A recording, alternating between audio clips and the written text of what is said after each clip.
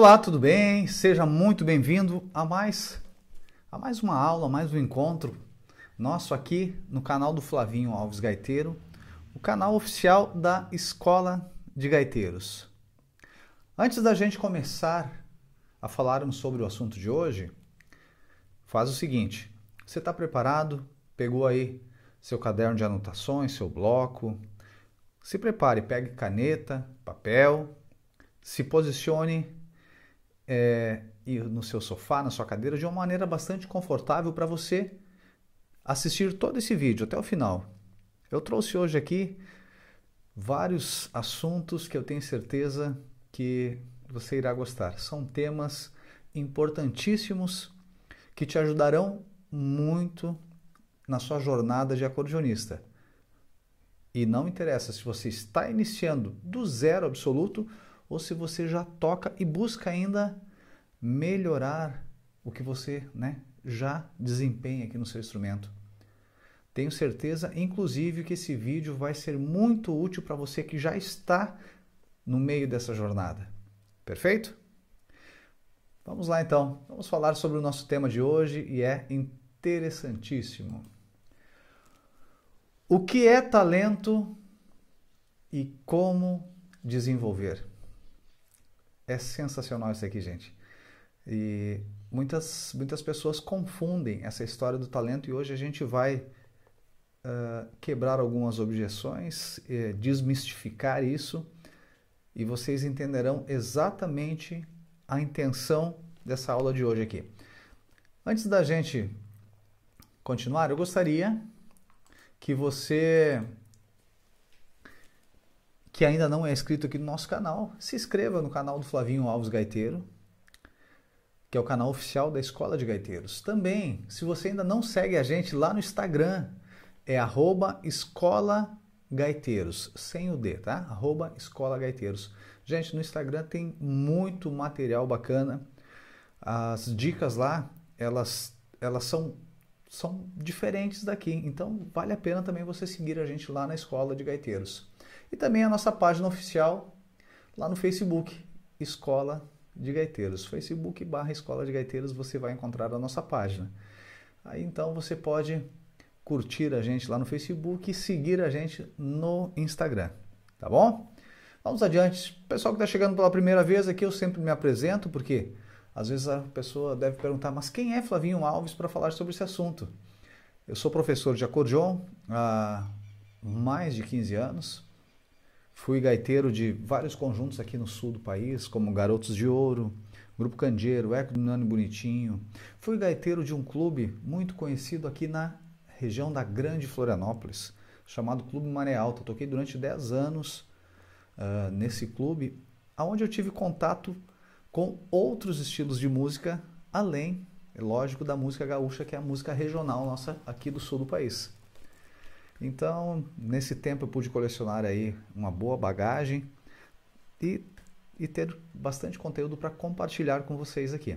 Mas mais uma vez eu peço, se inscreva no canal, dê aquele, aquele like para gente aí, aquele incentivo, compartilha esse vídeo aqui com seus amigos. Se você tem algum amigo que gosta de acordeon, que gosta de gaita, sanfona ou de música em geral, manda para ele esse vídeo aqui tenho certeza que ele vai gostar também.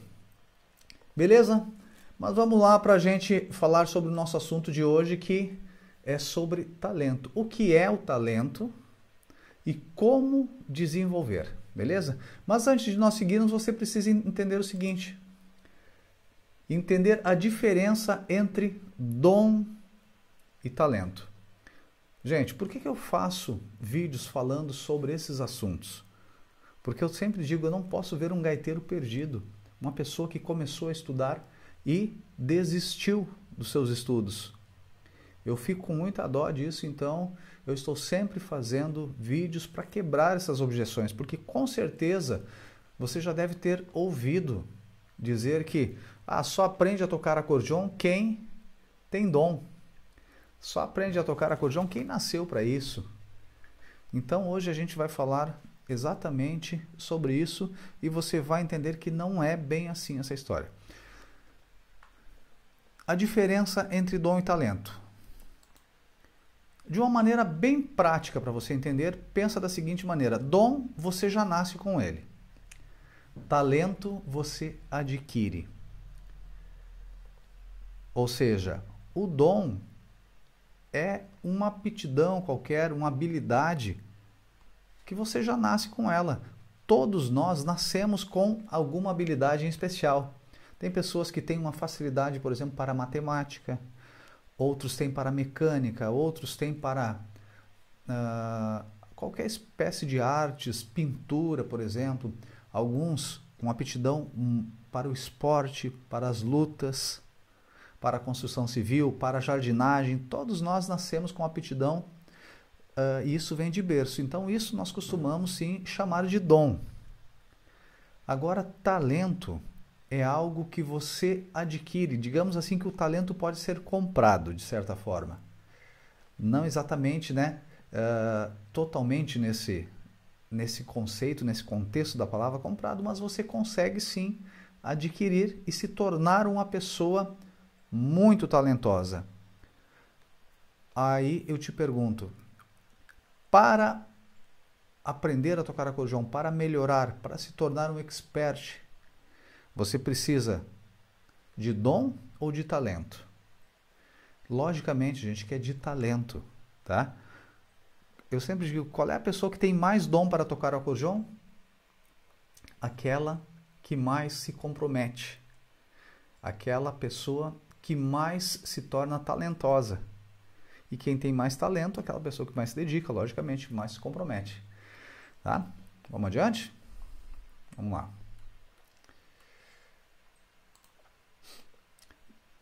Só mais uma definição aqui, ó, diferente do dom, o talento pode ser construído ao longo do tempo. Você está entendendo onde eu quero chegar? O talento pode ser construído ao longo do tempo. Talento, aptidão incomum que, natural ou adquirida, leva alguém a fazer alguma coisa com maestria. Pode sim ser uma pessoa que já nasceu com aptidão para a música, aptidão para o acordeon, e ela aprenda com uma certa facilidade. Eu sempre digo, quando acontece, por exemplo, de juntar o dom com o talento, eu falo que é um dom lapidado. Logicamente, essa pessoa se destaca, porque ela consegue fazer em menos tempo o que né, outras pessoas levariam mais tempo. Mas qualquer pessoa que consegue segurar o instrumento no seu colo, ter, né, e tem os dois braços e as duas mãos, consegue sim tocar esse instrumento e consegue com maestria.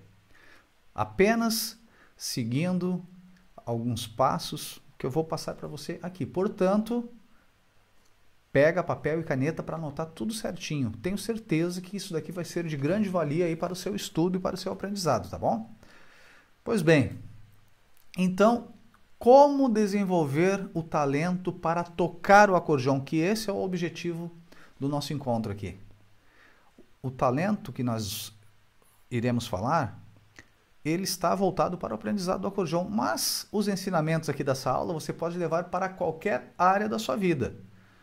Porque a maneira como nós aprendemos a tocar esse instrumento é a mesma maneira que nós usamos para aprender qualquer outra coisa. Exatamente isso. As pessoas pensam que para aprender a tocar acordeão, para melhorar, você que chegou num ponto aí daqui a pouco estagnou, tá? Fica até o final do vídeo e você vai entender exatamente como ultrapassar essa barreira. Perfeito? Vamos lá. Como desenvolver o talento para tocar acordeão, então? Vamos começar. Gente, eu enumerei alguns passos aqui que, na verdade, você pode ir colocando aí a numeração. Mas você precisa de tudo isso que eu vou citar aqui, tá? Não interessa a ordem, mas é interessante que você cumpra essas etapas. Primeiro, você precisa criar uma rotina de estudos, tá? O criar uma rotina de estudos é você colocar isso na sua agenda, como um compromisso, uh, como qualquer outro compromisso, mas que você cria um comprometimento que você vá fazer realmente isso. Perfeito? Definir dias e horários específicos para seus estudos e treinamentos. É segunda-feira das 7 às 8 da manhã? É segunda-feira das 11 às 11 e meia? Tem que ser segunda das 11 às 11 e meia você tem que se dedicar ao seu treinamento, ao seu estudo. Porque se você estivesse fazendo qualquer outro curso, você não estaria lá no momento da aula certinho, cumprindo o horário, você está pagando por aquele compromisso ou é só porque você está pagando, por isso que você leva a sério? Aí uma questão do porquê. Por que, que você quer aprender a, tocar acordeão? Isso faz bem para você? Você quer tocar música para as outras pessoas? Você quer melhorar ainda mais o que você já toca? Tem que ter comprometimento, tá, gente? Então, criar uma rotina de estudo. Faz uma agenda, faz uma planilha semanal. É muito simples, uma planilha semanal, segunda, terça, quarta, quinta, sexta. E adequa ela a sua rotina. Já vamos falar um pouquinho mais sobre isso, tá? Seguindo adiante. Aqui é importantíssimo, tá, gente? Depois que você criar a sua planilha de estudos, você precisa saber o que irá ser estudado. Para quem está começando, é importantíssimo ter um método para seguir. Porque uma metodologia de um bom professor, de uma boa escola, você irá seguir e subir os degraus de maneira progressiva, de maneira correta. Você não irá saltar né, de, um, de um nível para o outro, deixando lacunas em abertas, porque isso, gente, faz com que você tranque logo na frente. Você não consiga mais evoluir, ou que você até tire algumas músicas, mas não consiga executá-las de maneira bonita, suave, ritmada. Né? Aquela música que flui, que as pessoas. Né? Quando você escuta um gaiteiro, um sanfoneiro tocar, aquela pessoa toca assim, parece com uma sutileza, com uma beleza, com um ritmo gostoso, dentro de um compasso. É isso que eu falo. Tá? E isso que um bom método de estudos faz para você. Para você que já está em um outro nível, já está tocando, eu sugiro que você dê uma revisada se tem algumas coisas no passado que talvez você não deixou legal. Por exemplo, para você que já está tocando aí um bom repertório, você domina uma coisa muito básica: todas as escalas maiores e todas as escalas menores se não, tá aí uma boa sugestão para você dar uma repassada nisso. Ah, Flavinho, mas eu quase não toco em Dó sustenido menor. Você não toca em Dó sustenido menor, mas você toca em Mi maior, que é relativo de Dó sustenido menor. Esses pequenos detalhes que vão encaixando e vão fazendo com que a engrenagem gire de maneira é, fluida, tá bom? Então, então é importante que você tenha um método para seguir. Quando a gente já está, quando nós já estamos assim em um estágio mais independente, a gente até consegue montar um cronograma para isso. Faz uma planilha lá, coloca lá, segunda-feira vou fazer exercícios de arpejo. Trabalhe aquelas tonalidades que você não está tão habituado a tocar. Dê uma atenção né, para essas que estão um pouquinho mais de lado. Terça-feira farei estudos de escala. Você pode treinar as escalas menores, modo natural, harmônico melódico e assim por diante. Quarta-feira, estudo de harmonia. Quinta-feira, somente repertório. Se possível, encaixe repertório durante os, o, o, os outros dias junto com os exercícios técnicos. Tal dia, exercício de fole. Faça isso. Por quê? Saber o que será estudado é, faz parte do processo de melhoramento, de aprendizado, de aperfeiçoamento. Você sabe o que você vai estudar muito antes de você sentar e pegar o instrumento. Por isso que eu digo, gente, que as pessoas que estudam 20 minutos, 30 minutos, elas conseguem aprender a tocar acordeon desde que siga uma metodologia. Quando eu falo isso, eu falo da minha metodologia, da metodologia do decifrando o acordeon. Mas qualquer metodologia você pode seguir desde que ela seja eficaz, tá bom? Vamos adiante. Definir onde você irá estudar, gente. Aqui eu sempre falo do cantinho do estudo. Isso daqui está atrelado àquela questão que nós falamos um pouquinho antes ali, de você criar uma rotina de estudos, tá? Definir dias e horários específicos para os estudos e treinamentos. Mas, além de você definir os dias, saber o que você vai estudar, você precisa definir onde você irá estudar. Se você, eh, se, eh, né, se vocês soubessem a importância que esse, né, que esse item aqui tem dentro da sua evolução, com certeza você levaria muito mais a sério essa questão do lugar de estudo. Eu falo que música, ela, a música em si, quando nós estudamos, quando nós tocamos, nós criamos o quê? Uma memória muito forte, porque a gente lida com emoções, a gente lida com som, a gente lida com parte mecânica, e tudo isso acaba criando uma energia muito bacana, uma energia positiva. Então, quando você cria um espaço para você, aonde o seu acordeon ele fica ah, em uma posição ali que é de fácil acesso, a sua cadeira não precisa nada luxuoso, nada mirabolante, é aquele cantinho que você se sinta bem ali, que você não tenha de, né, de preferência que não tenha muitas distrações. Eu quando vou estudar, eu estou gravando esse vídeo aqui, mas antes eu estava estudando. Meu telefone está no modo avião. Por quê? Porque exatamente eu nesse momento eu não quero distrações. Eu quero maximizar os resultados desse pequeno período de, de tempo que eu estarei aqui me dedicando à minha paixão, que é ao acordeon. Então, gente, eu sempre digo: tenha o seu cantinho de estudos. Você pode tocar à vontade durante o dia, quantas vezes você quiser, mas aquele momento de aperfeiçoamento, de estudo, ele deve ser feito em um lugar aonde tem essa energia, ele foi criado para isso. E aonde você não tenha distrações. Pode ser um cantinho do seu quarto, com a cadeira, o instrumento fica ali? Pode. O que não pode é você estar na sala estudando, com a TV ligada, né? sei lá, com a família na volta ali. Você pode até fazer isso em outro momento, sem problema algum. Mas desde que você tenha cumprido a sua meta de estudos os 15 minutos, os 20 minutos, 30, uma hora.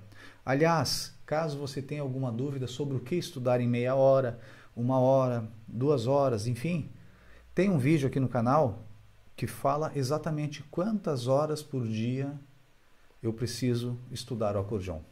Recomendo que você dê uma olhadinha nele também. Escreve aí, o assistir vídeo para saber quantas horas eu devo estudar o acordeon e quais conteúdos, as subdivisões de conteúdos que eu devo praticar. Então, dessa maneira você consegue então fazer um cronograma mais detalhado para você aproveitar melhor o seu tempo. Tá bom? Aqui o seguinte, gente, importantíssimo, eu frisei bastante isso aqui, ó. Criar metas realizáveis. Eu estou falando tudo isso daqui porque dessa maneira o que, que irá acontecer com o resultado de, de tudo isso que nós estamos falando, desses passos que nós estamos seguindo, dessa organização de estudo? Isso fará com que você comece a ter resultado no seu estudo. E isso fará de você uma pessoa mais talentosa porque você está focando no seu instrumento, você está focando na sua melhoria no seu condicionamento, no seu desempenho em relação às músicas.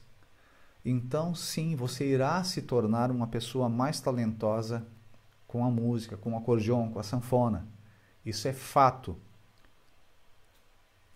E até agora, o que eu falei aqui, precisa ser uma pessoa superdotada, precisa ser uma pessoa que tenha, uh, como é que se diz, uma disciplina exagerada para conseguir fazer essas coisas que eu fiz, que eu falei aqui? Não precisa sim de um comprometimento, de um planejamento, ou seja, como se fosse para qualquer outra coisa que você queira obter resultado. A pessoa quer, quer ser um grande mecânico. Ela terá que se dedicar, ela terá que ler, se atualizar, fazer o curso, estudar. Tranquilo, né, gente? Mas como a maioria das pessoas tem o acordeão como uma hora de lazer, uma hora de hobby, então você pode dedicar até menos tempo, mas esse tempo tem que ser de qualidade. Então, seguindo esses passos, você será sim uma pessoa mais talentosa. E o que eu queria que você entendesse que talento você desenvolve, mas também precisa seguir alguns passos que são primordiais para que isso aconteça. Vamos lá, importantíssimo, criar metas realizáveis. Permaneça na sua zona de conforto. Isso daqui é um erro muito comum que as pessoas cometem, principalmente quando começam algo novo em sua vida. A pessoa quer começar a pedalar. Aí ela bota lá que ela quer pedalar duas, três horas por dia, todos os dias. A pessoa quer começar a estudar o acordeão, a aprender. Ela coloca lá, eu vou estudar duas horas por dia. A pessoa já toca, eu preciso melhorar. Flavinho, eu tenho que entrar nos eixos, eu tenho que começar a, a, a caprichar mais, a estudar mais. Eu vou fazer quatro horas de estudo por dia. Tudo bem. Mas muitas vezes você não tem esse tempo disponível hoje na sua agenda. E sabe o que, que acontece? Esse é um dos motivos. Às vezes você não consegue encaixar isso na sua agenda e outra, você não sabe como organizar os seus estudos para encaixar nesse, nesse período.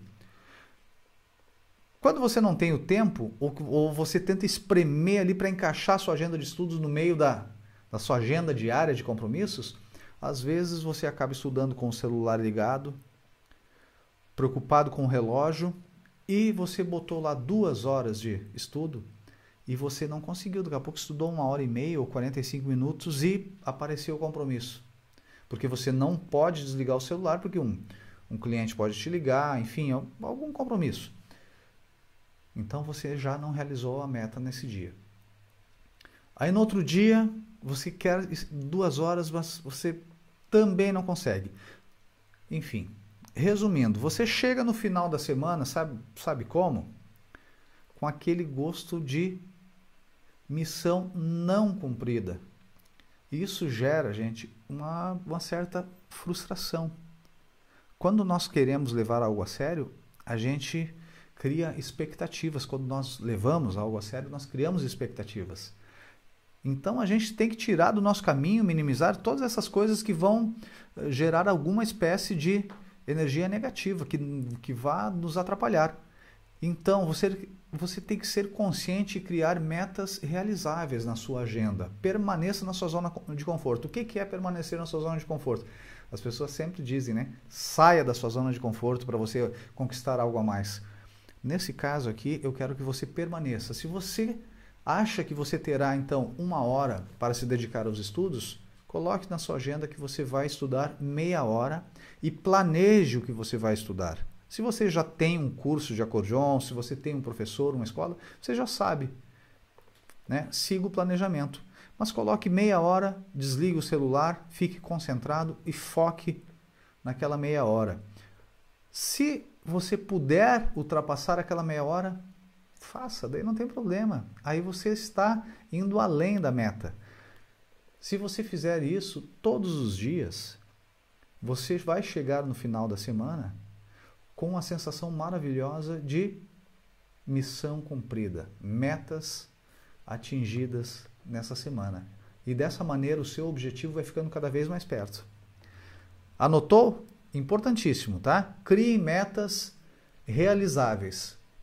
Nada de fazer coisa aí que daqui a pouco você tem que esquentar a cabeça. Você se atrasou um pouquinho do trabalho, já não vou conseguir mais chegar a tempo de estudar as duas horas e você fica com aquela culpa assim de não, não poder ter estudado. Então faça metas realizáveis. Meia hora já fica mais fácil. Então vou fazer meia hora. Se eu puder passar, tá tudo bem. Vamos adiante. Então, qual é a consequência disso tudo? Gente, eu sempre digo que quando nós começamos uma rotina e damos seguimento durante 30 dias, a gente cria uma coisa chamada hábito. E com essa rotina que eu proponho aqui, você então tem como consequência a criação e a instalação do hábito. Após 30 dias você fazendo, por isso que eu digo para você fazer metas atingíveis para que você simplesmente faça essa repetição. Você pode variando, logicamente, os assuntos que você vai estudar, mas procure estudar todos os dias, num período, com agenda, uma planilha certinho, que você irá então entrar no que eu chamo de modo automático, estará com o hábito do seu estudo instalado e você não irá mais precisar de uma disciplina um pouquinho mais, como é que se diz, exagerada para realizar isso. Até porque sabe o que, que acontece? Se você fizer isso, você estará se tornando uma pessoa mais talentosa, terá mais domínio do instrumento e você começará, começará a sentir o prazer do resultado.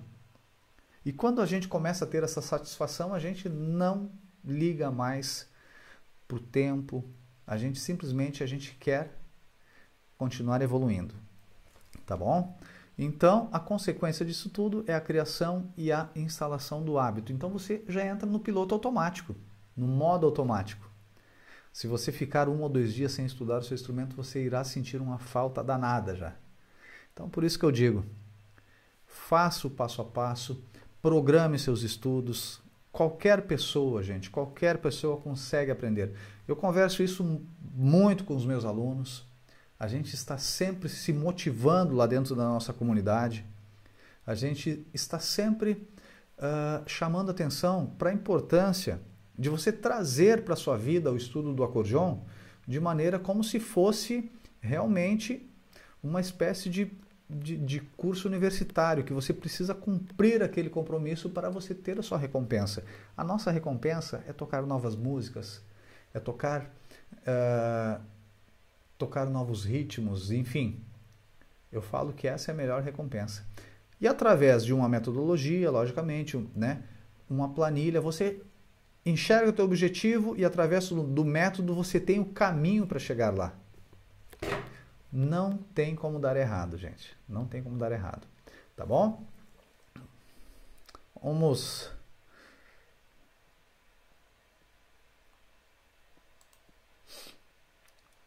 Bem, aqui já. Aqui. Vamos fazer uma.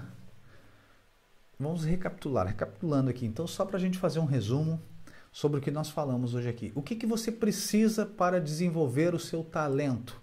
Como eu falei antes, dom você nasce com ele, talento você desenvolve. Simplesmente isso serve para o acordeon ou para qualquer outra coisa na sua vida. Você não, não quer tocar acordeon, mas você quer aprender inglês, por exemplo? Aplique esses conhecimentos dessa aula aqui no seu inglês, que eu tenho certeza que daqui 60 dias você estará com outra visão sobre o seu inglês no dia de hoje. Mas como o nosso foco aqui é acordeon, faça isso durante 30, 60 dias e depois comenta aqui como é que você está se sentindo. Tenho certeza que o resultado será diferente. Primeiro, criar uma rotina de estudos, a sua agenda. Crie uma agenda ou crie uma planilha. Se você não, não, não sabe fazer a planilha no computador, faz um desenho numa folha de ofício com os dias da semana, separa direitinho os horários e coloca ali o que você vai estudar. Pouca coisa, tá, gente? Estudem pouca coisa, mas repitam muito aquilo. Assim a gente fixa o conteúdo e melhora cada vez mais.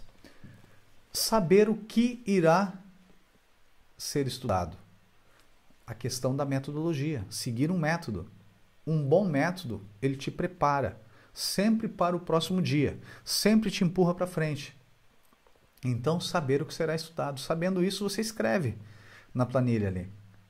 Perfeito? Agora o seguinte, definir onde você irá estudar. Aqui eu falo do cantinho do estudo, a importância do cantinho do estudo, se as pessoas soubessem disso. É como você sair de casa, por exemplo, um, profissional autônomo, um advogado, médico, enfim, qualquer profissional da área, um contador, sai de casa e vai para o seu escritório para trabalhar.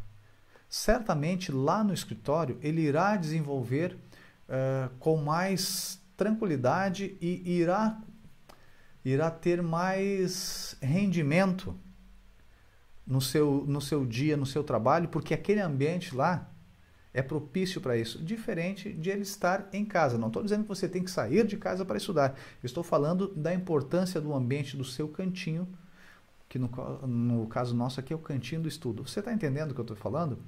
Quando eu entro aqui nesse meu espaço, que é o meu espaço de estudo aqui, quando eu entro, ele já me inspira, porque eu já estou tão habituado a chegar aqui para estudar, que só no, no, no momento que eu entro aqui, eu já tenho uma inspiração diferente.